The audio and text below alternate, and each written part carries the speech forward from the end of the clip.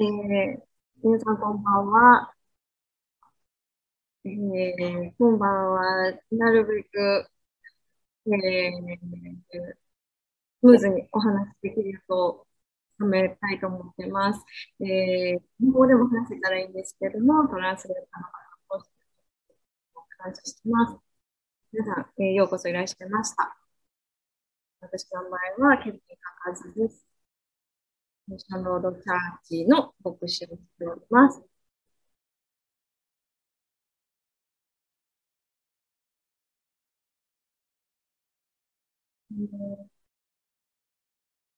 一たちと会議をしていたとき、えー、一致とは、そのことなのか、そしてなぜ大事なことなのかというお話を、させていただきました。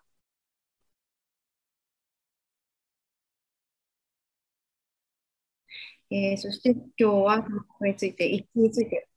お話しさせていただきたいと思います。えー、これはとても、えー、簡単なような質問に聞こえますね。一とは大事なのか、もえー、大事で必要であることでしょうというふうに答えるのは簡単なことだと思います。そして今日はそんな、あのそうですね、とても大事なことですというふうに、えー、簡単にまとめることはできるんですけれども、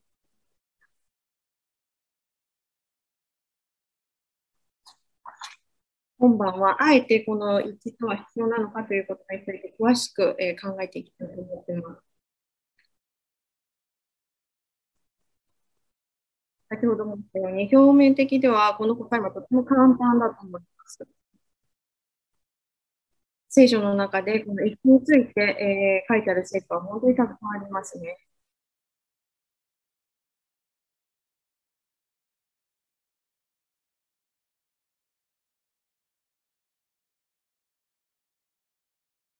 今晩はあえてこの1とは大事なことなのかということに、その答えが人間大事ではないですというふうな答えになるような、えー、シチュエーションを考えていきましょう。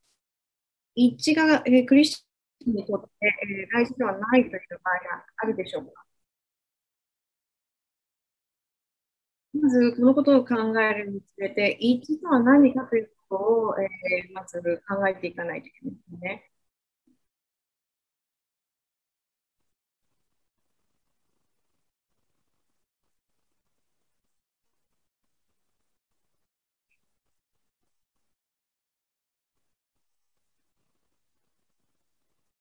見えますでしょうか。この一致ということで、えー、話していきたいと思います。一致とは一つになること、まとまること。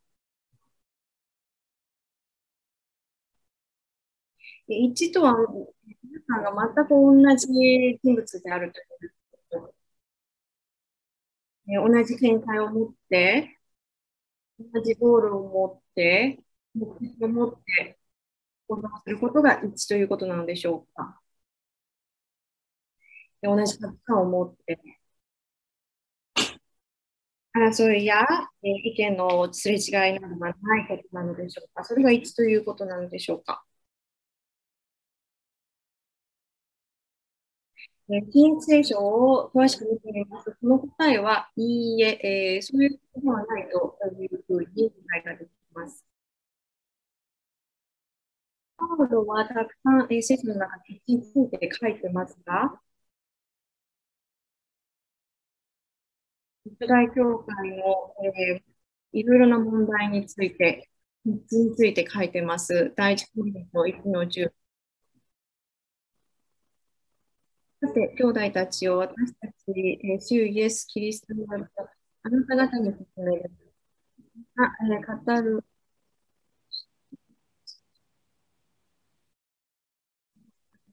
の間に、えー、紛争がないようにし、同じ、同じ思いになって固く向き合ってほしい。えー、これを読みますと、一日はとても大事な、えー、である。ことがわかる。と思います。私が同じ目標を持っ、でえー、行動することにえーそれは大事なことであると思います。またそれが書いてある、えー箇所がありまして、えーこの私たちの体と教会を例えて、えーパウロが書いてある聖句があります。エフェソ、えー、コロサイ、えーいろいろな箇所に、この一致についてパウロはたくさん記しています。一致、どんな一致が大事なのでしょうか？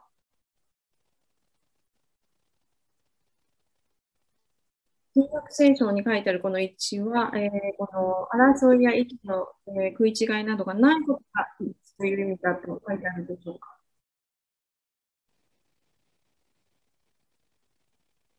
聖書の中では、えーそうではない、えー私たちが意見食い違わない、えーことが一致であるというふうには書いてないです。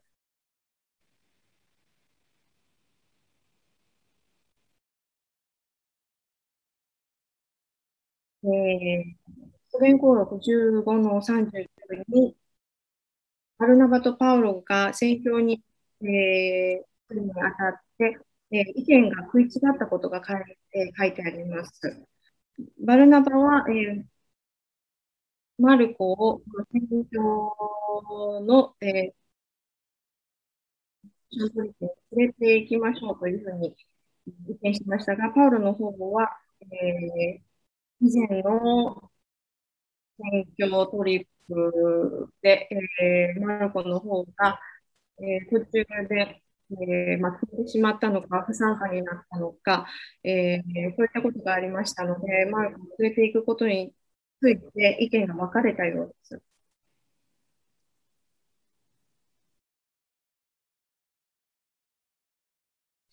これはただ意見のすれ違いでは、えーありません。この二人は、バルバナバとパウロの間には、とても深いつながりがあり、えーパウロが、えーに改心する前からバルナバとの関係があり、バルナ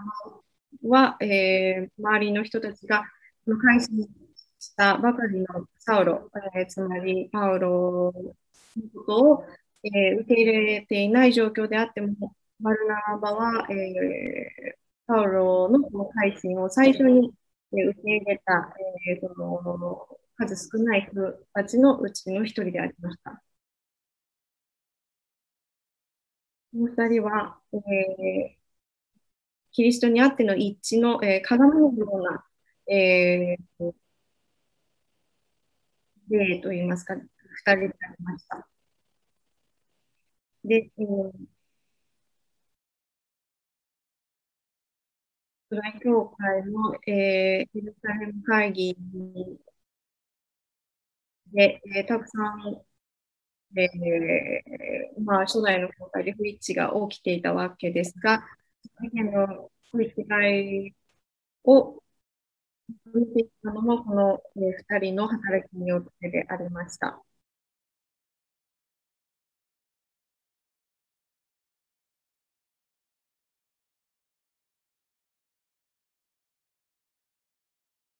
かし、この2人の意見のすれ違いから、えー、2人が共に行動していく記録はそこで、えー、聖書の中では途絶えています。その2人がその後、えー、和解をしたのか、それは定かではありませんが、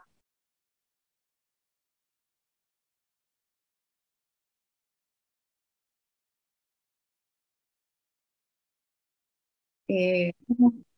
この激論の後、えー、アルナバとパウロは別々に行動するようになります。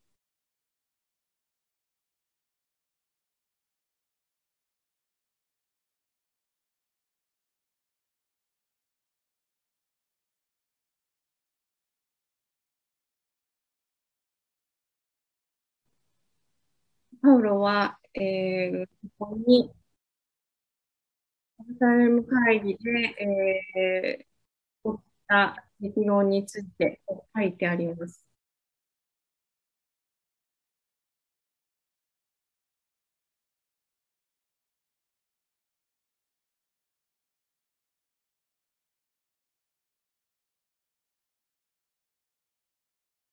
そしてここでの、えー、論争では、えー、メインの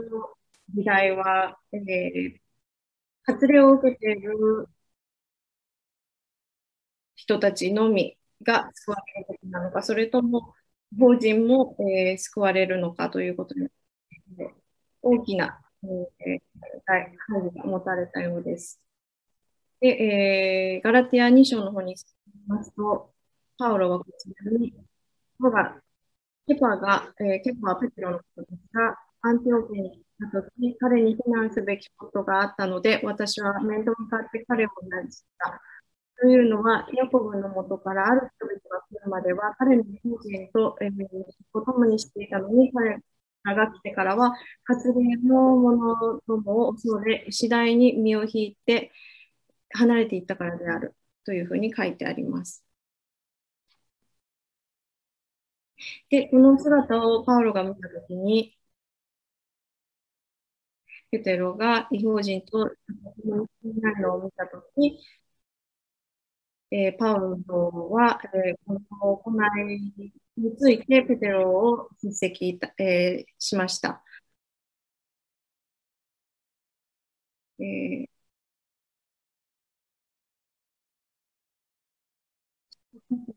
でそして重要な聖書の中でもとても重要な立場であるペテロがこのような行いをしていることにとても、え、パウロは残念に思い、えー、叱りつけたようです。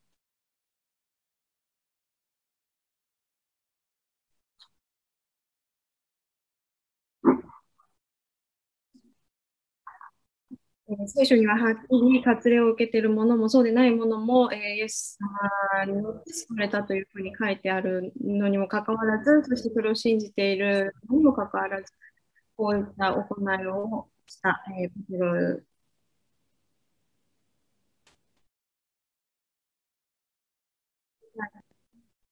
このことを、えー、正しくないと思ったパウロは直接ペテロにもえー、そのことを伝え、また聖書の中にも、えー、記きました。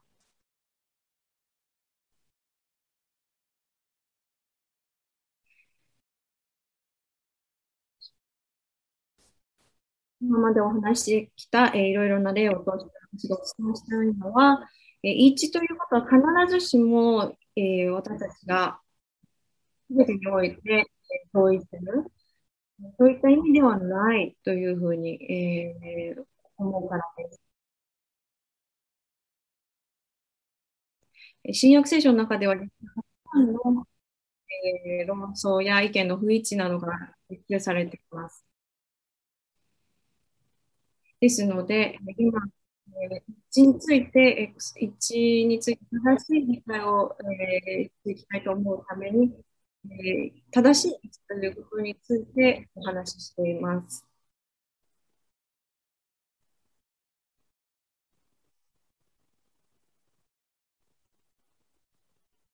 ライツプリント12の12です。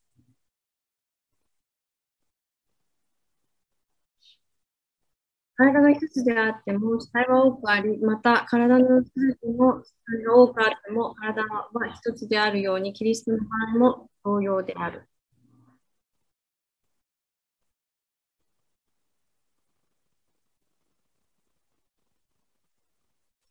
私たち教会はこの体のように一致しないといけないのです。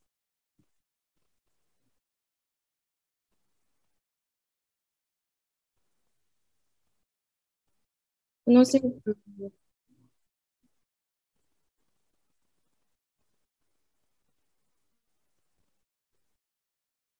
パウロは、えー、この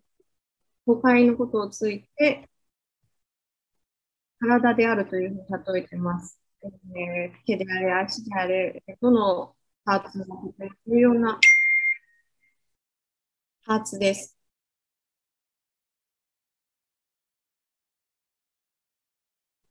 ただ、体の中で一番大事なのはどこでしょうか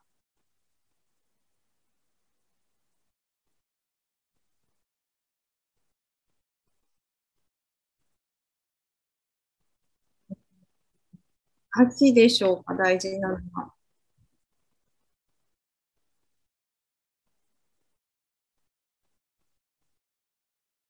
何が大事でしょうか、体の中で一番。一番大事なのは頭ですね。いくら、えー、強い足があっても、えー、頭が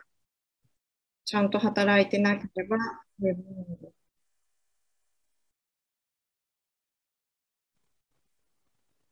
エペソ4、15の16。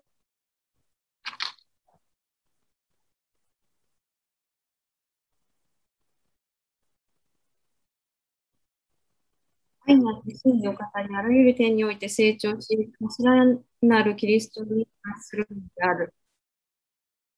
キリストを元ととして、全身をすべてのの助けにより、しっかりと組み合わされ、結び合わされ、それぞれの部分は、えー、無に応じて働き、体を成長させ、えー、愛のように育てられていくのであるつまり私たちは、たちの脳、頭は、えー、イエス様です。そして、そのために一致しないといけません。イエス様が私たちを一致と導き、えー、求めてくださるのが、えー、イエス様です。そして私たちは、えー、それにお互い、えー、一様の仕事、働きをしていくことが重要なのです。働きとは何でしょう、えー、イエス様がこの世でされたように、えー、周りの人たちに神様のことを伝え、そして、えー、奉仕をしていく。癒しを与えそして、マタイに書いてあるように、を作り、そしてこの世の中に、えー、伝道していく。良い意味を、えー、実ら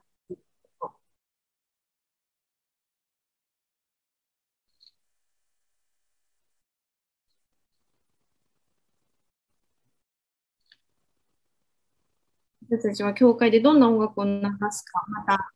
政治的な考え方、いろいろな考え方で、えー、皆さんいろんな考え方をお持ちで、なかなか一致することはこの世の中でもしかしたら天国に行っても、えー、全てにおいて私たちが、えー、考えが一緒になるということはないかもしれません。ただ、イエス様によって私たちが本当の意味の一致を成し遂げることができると思っています。そして、えー、愛、えー、寛容をおけるこの、えー、御霊の身をもってお互いに接し合い、愛し合ってイエス様の体を実現することができると思います。国会として一致をすることです。で、私たちがたとえ全てのことにおいて共感や同感できなくて、えー、たまには不一致などがあったとしても、えー、イエス様の体であることによって、えー、本当の意味の一を持って、えー、伝道イエス様の働きをしていくことを望んでいます。そして、えー、イエス様は、えーあなたたち一人一人のためにお祈りされているということをぜひ、え知ってください。ヨハネある、えー、17章の方に、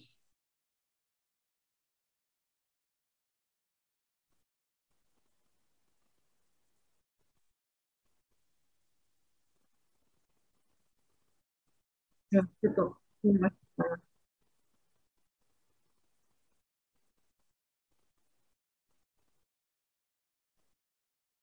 イエス様は私たち一人のために、えー、お祈りしてくださっていますが、出てきましたね、スライドが。えー、7の21から24、よかったらお読みになって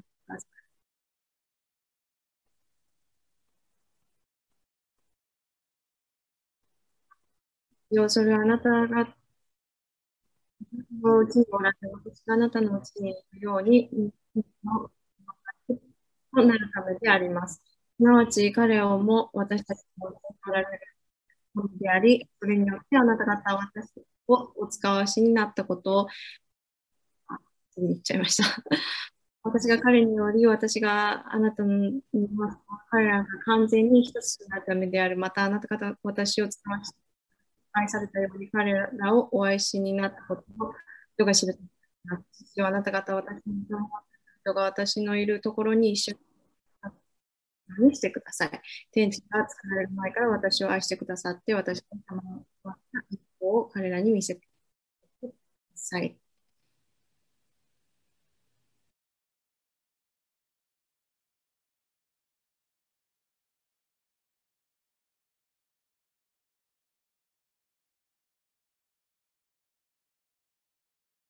イエス様が十字架にかけられる前に考えられてたことは私たちのことです。で、私たちのために上に来られました。私たちが、えー、なる神とイエス様が一つであるように私たちも互いに、によって一致できるように。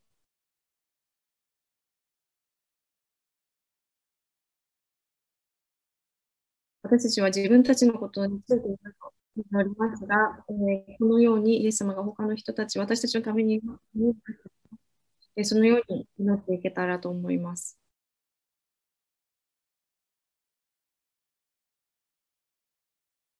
私たちのために祈り、えー、命を捧げてくださった方のために私たちの会とし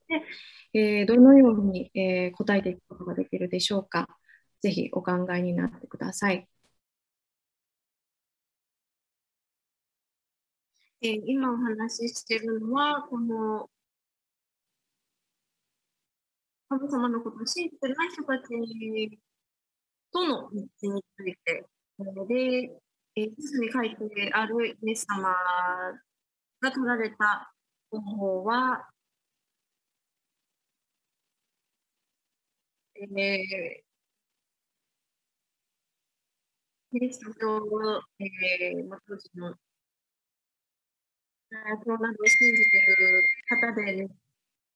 ない人たちにも、えー、尊敬を持って、えー、決して恥ずかしめたり、えー、区別したりせず、えー、イエス様のように、あの、えー、私たちもキリスト教じゃない人と接するときは、お互いに尊敬心を持って、えー、接することができたらいいと思いますね。お互いに尊敬しない。あなたは無信者なんですね。何も信じてないんですね。こういうことしてあなたたちするのいけないんですよっていうふうなえー、立場、上からの立場で話すのは良くないですね。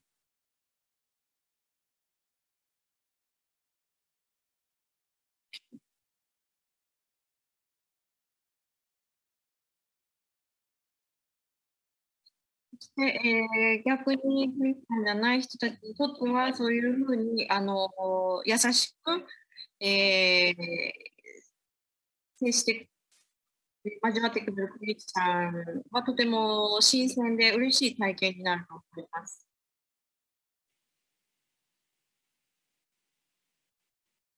えー、クリスチャンというと説教臭いようなそんなイメージを持っている方がとても、えー、信者の方で多いと思いますのでそういうふうに思われないように、えー、したいと思いますね。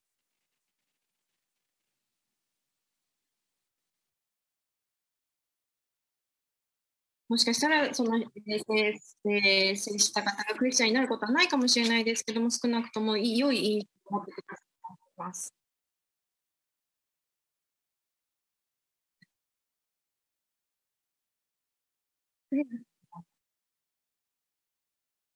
えー政治で教会では話さない方がいいでしょうか？そうですね。これは難しい質問ですね。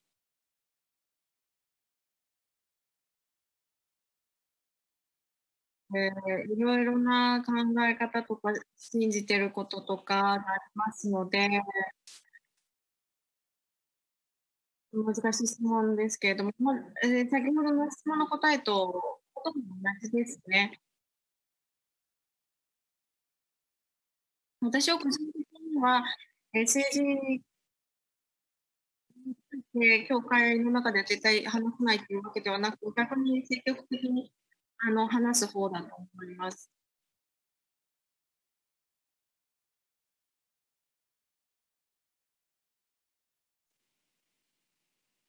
実際に、えこの世で起きていることについて、え聖書を通して話すことは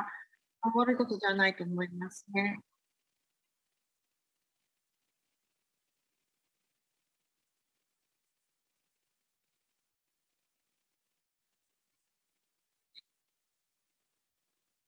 えー私たち教会たち、周りの人たちのように、えーこの教会として振る舞うべきか、愛を持って接するべきか、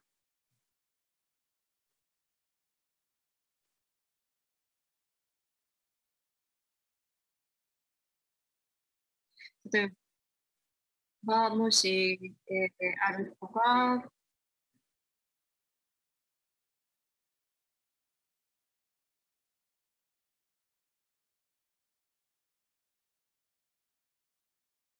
えー政治について、あのー話を持ちかけてきたら、えーで、自分の意見を言っても、えーとても、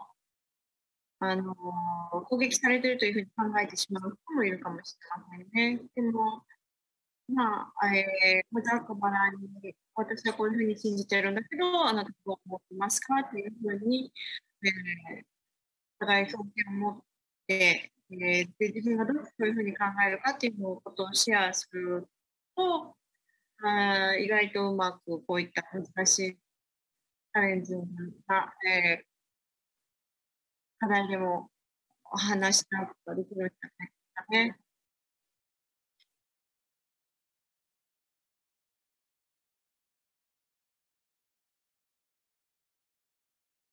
え神様は私たちの中の、えー、恐怖をえー取ってくださいますので、私も牧師としてそういうふうに人々と接することができるように心がけてます。誰も私に接する人がこう攻撃されているように感じないように、えー気をつけてますね。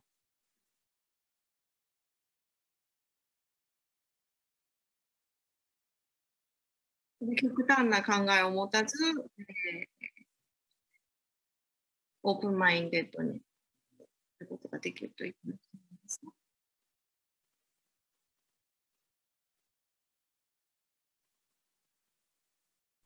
パウロにとって、パウロが、えー他の人たちとうまくいくように、いくように、えー努めた人たちについて話しています。神様、神様がパウロを導くために、えー、ハニアを導いたこと。ただ、えーパウロは当時、えー恐れられる存在でありましたので、えー、ハナニアはさ、えー恐れたと思いますけれども、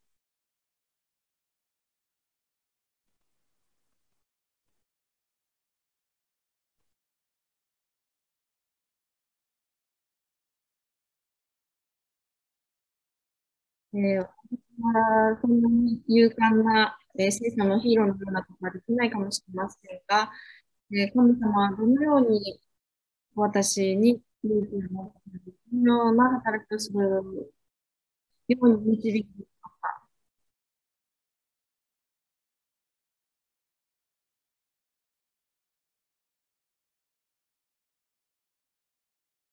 バルナや、バルナバやペテロなど、とても勇気を持って、え行動をということを聞いてした人たちのように、えー、なれるか。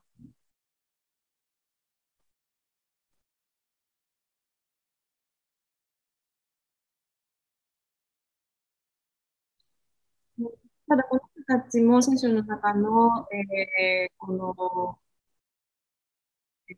重要な人物たちも、まあ、最初からこういった、えー、勇気を持った行動を取れたわけではないかもしれません。でも、えー、この文化に従う心を持って自分たちの、えー、コンファートゾーンですね、あの、から出て、えー、自分たちの心地のよいところから一歩飛び出て、神様のために、えー、働くことによって、私たちも、こう、聖書の中に書いてる人たちの、書かれてる人たちのように勇気を持った行動、えー、力を持つことができるのではないかなというふうに思ってます。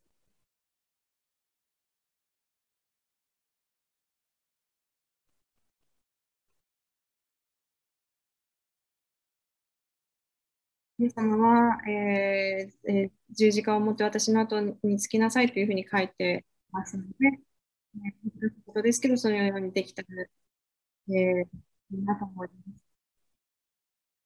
でまあ、あの、答えられたかは、えー、たくさんの質問ありがとうございました。